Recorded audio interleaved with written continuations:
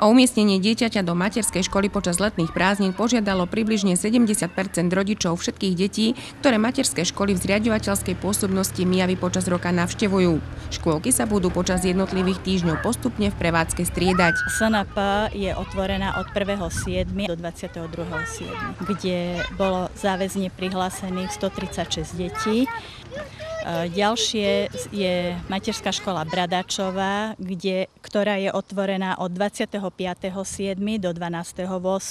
s počtom prihlásených 103 detí. A ako posledná materská škola Hoštáky, ktorá je otvorená od 15.8. do 2.9. a s počtom 101 detí. Pokryli sme potreby všetkých záujemcov o škôlku i mamičky na materských e, môžu si doviezť svoje deti počas celého leta.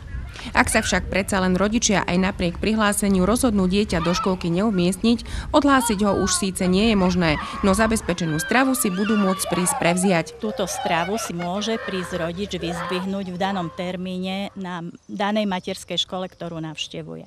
Počas oboch mesiacov je prevádzka v škôlkach nezmenená. To znamená, že sú otvorené od 6. do 16. hodiny. Čo sa možno troška zmení, bude program.